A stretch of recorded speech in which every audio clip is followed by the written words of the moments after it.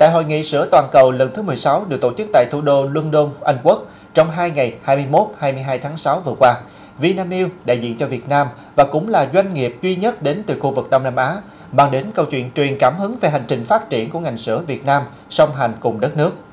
Đặc biệt, trong khuôn khổ hội nghị, Vinamilk được vinh danh trong giải thưởng The World Dairy Innovation Award 2023, giải thưởng ngành sữa toàn cầu về đổi mới năm 2023 với vị trí quán quân của hạng mục các sản phẩm thay thế sữa Dairy Alternative.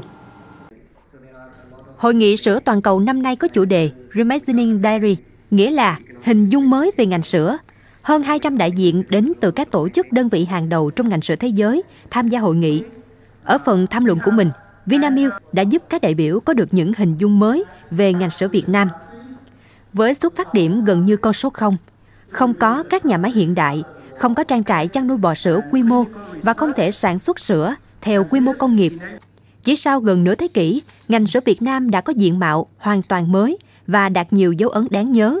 Đặc biệt, Việt Nam đã đạt cột mốc 100 triệu dân, mở ra nhiều tiềm năng lớn cho ngành sữa nói chung. Bên cạnh đó, Tham luận cũng truyền cảm hứng từ những chia sẻ về hành trình hơn 47 năm thành lập phát triển lớn mạnh của Vinamilk.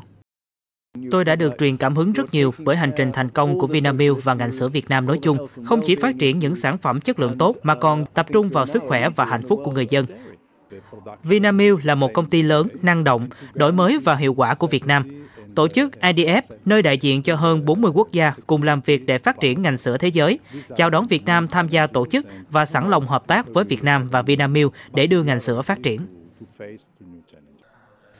Trong khuôn khổ hội nghị, ngay lần đầu tiên tham dự giải thưởng The World Dairy Innovation Award 2023, giải thưởng ngành sữa toàn cầu về đổi mới năm 2023, Vinamilk đã được vinh danh là quán quân tại hạng mục sản phẩm thay thế sữa với sữa chính loại hạt Supernut. Giải thưởng này càng khẳng định giá trị cốt lõi mà Vinamilk hướng đến là chất lượng vì sức khỏe cộng đồng để phát triển bền vững. Chúng tôi à, à phối hợp với các à, tập đoàn dinh dưỡng hàng đầu thế giới để mà à, tận dụng những cái thành tựu à, tiên tiến trên thế giới về dinh dưỡng để áp dụng và phát triển những cái giải pháp dinh dưỡng đẳng cấp quốc tế phù hợp với thể trạng và điều kiện của người Việt. Đó là một cái nền tảng mà chúng tôi cho rằng rất quan trọng để giúp cho ngành sữa à, Việt Nam à, phát triển bền vững trong tương lai. Thành lập năm 1976, sau hơn 47 năm phát triển, Vinamilk hiện đứng thứ 36 công ty sữa lớn nhất thế giới về doanh thu,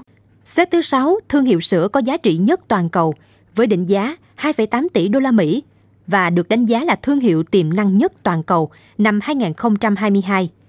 Vinamilk hiện có 15 trang trại cùng 17 nhà máy trong và ngoài nước,